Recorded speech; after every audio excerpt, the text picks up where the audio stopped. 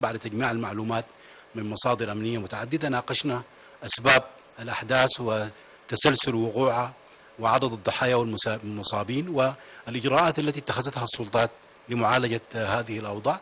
النقاش المطول آه، توصل إلى أنه بالتأكيد هناك دائما أسباب موضوعية للنزاعات. أحيانا نزاعات على الموارد أو السلطة أو النفوذ أو غيره وأحيانا كثيرة جدا بيكون في قصور من اللجان الأمنية في الولايات. وبطء في تدخل. السلطات ده بيساعد على تفاقم الأوضاع. ولاحظ المجلس أنه لو كانت السلطات المحلية الولايية واللجان الأمنية تدخلت بسرعة كافية كان يمكن قللت من عدد الضحايا الذين راحوا آه، ضحية لهذه الأحداث نترحم عليهم ونسأل الله أن يتقبلهم. آه، أيضا من الملاحظات آه، أنه كثير جدا من هذه الأحداث بتبدأ أحيانا بأسباب صغيرة جدا تكاد لا تذكر لكن لأنه هناك شحن أحيانا نفوس مشحونة أحيانا بيكون في تحشيد إثني وعصبي وقبلي بيؤدي إلى انفجار الأوضاع لدرجة كبيرة جدا. ولا يخلو الأمر أيضا طبعا من الاستغلال السياسي. يكون في جهات سياسية بتستغل الأحداث لتصعيدها المجلس أيضا لاحظ أنه في فجوة ما بين الجهاز التنفيذي والأجهزة الأمنية. أحيانا في بطء في وصول المعلومات وأحيانا حتى يعني ما بتصل في وقت معقول بحيث أنه يتم اتخاذ إجراءات سريعة لمعالجتها.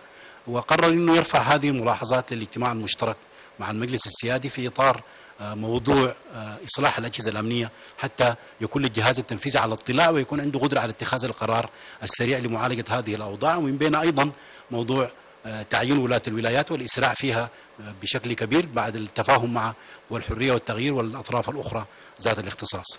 المجلس أيضا استمع إلى تقرير مطول جدا عن الوضع الصحي في البلاد سواء كان جائحة كورونا أو غيرها قدمه الدكتور أكرم علي التوم وزير الصحة ومعظم الاجتماع يمكن ناقش موضوع الوضع الصحي جائحة كورونا الخطوات اللي اتخذت للتصدي لها. استمعنا طبعا إلى تقرير عن الإصابات اللي بلغت 1661 إصابة. ده عدد كما قلنا كبير وصل مرحلة الانتشار المجتمعي محتاج إجراءات وسياسات. آه وزير الصحة أطلع المجلس على آه محاور السياسات الصحية المطبقة واللي حتطبق خلال الأيام القادمة. ووعد بأنه في الاجتماع القادم سيأتي المجلس الاستشاري لوزير الصحة بدون خبراء كبار آه، يقدموا ملخص لمجمل السياسات الصحية التوصل لها على محاور أربعة. جزء منها يتعلق بمواجهة جائحة كورونا الاستعدادات تمت في الولايات مراكز العزل والطوارئ بروتوكولات العلاج ثم المساعدات الطبية اللي وصلت والحمد لله فيما يتعلق بالألبسة الطبية وصلت مجموعات كبيرة. وحتصل الآن مجموعة ضخمة جدا من الجالية السودانية بقطر. بالإضافة طبعا إلى التركيز على مسألة إعادة فتح المراكز والمستشفيات لغير مرضى الكورونا لأنه كان في معاناة خلال الفترة اللي فاتت. وزير الصحة أطلع المجلس على الخطوات اللي اتخذت وبيتم إجراء أطلع الوضع المجلس أيضا على الوضع في ولاية الخرطوم باعتبار الولاية الأكبر تأثرا واللي فيها أعداد كبيرة من المصابين وبتحتاج إلى عناية خاصة وإلى مساعدات كبيرة من المركز. آه، فيما يتعلق بهذا الأمر آه، كما ذكرت المجلس آه، ناقش تفاصيل كثيرة جدا وقدم توجيهات لوزير الصحة وحيتابع ذلك في الاجتماع القادم وصلا بهذا الأمر اليوم نشر خبر وحول توصية من اجتماع مشترك بين المجلس السيادي ومجلس الوزراء وهو الحرية والتغيير بإغالة وزير الصحة الدكتور أكرم علي التوم. الحقيقة الدكتور أكرم علي التوم كان في اجتماع مجلس الوزراء ثم بعد ذلك دخل في اجتماع مطول مع رئيس الوزراء بعد اجتماع مجلس الوزراء يمكن إلى الساعة الرابعة كان موجودا بمجلس الوزراء. ما نحب أن نقوله على لسان مجلس الوزراء وعلى لسان السيد رئيس مجلس الوزراء شخصيا أنه ليس هناك أي اتفاق أو توصية أو إقرار من أي جهة بإقالة السيد وزير الصحة الدكتور أكرم علي التوم.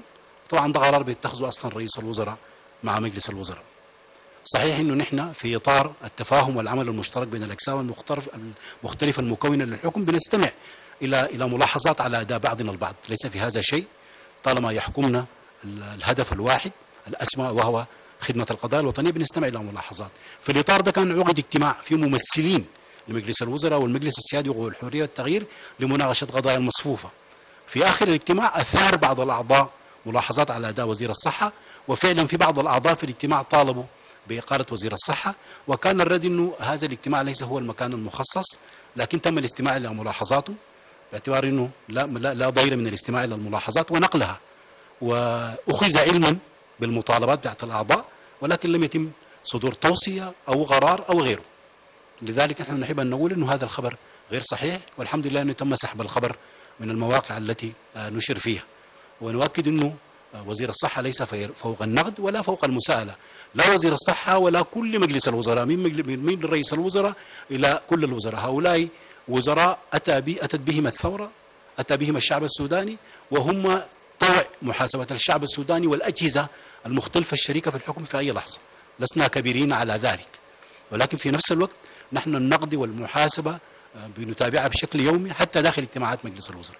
في الإطار ده برضو في بعض الأقسام الطبية كانت طلبت عندها ملاحظات على أداء السيد وزير الصحة للسيد رئيس الوزراء. فالسيد رئيس الوزراء دعاهم إلى اجتماع بعلم السيد وزير الصحة ولكن فضل أنه آه، ما يكون وزير الصحة موجود. السيد رئيس الوزراء استمع إلى ملاحظاته ونقل هذه الملاحظات في اجتماع تالي للسيد وزير الصحة تناقشوا فيها. وكان نقاش مفتوح جدا وفيه كثير جدا من الملاحظات.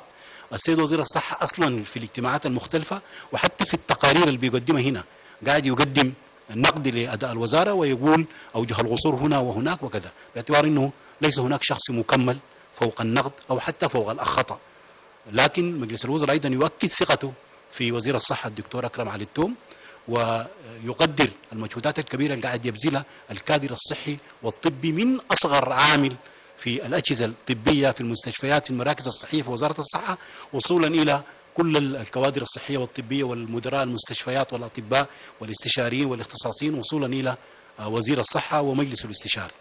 وباستمرار التشاور مستمر آه، إصلاح السياسات والأخطاء هنا وهناك مستمر ولكن نؤكد مرة أخرى أنه مجلس الوزراء أكد ثقته في السيد وزير الصحة وهو ماضي في أداء مهامه.